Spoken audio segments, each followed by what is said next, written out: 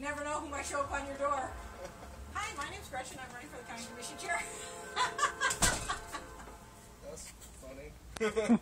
We're doing your.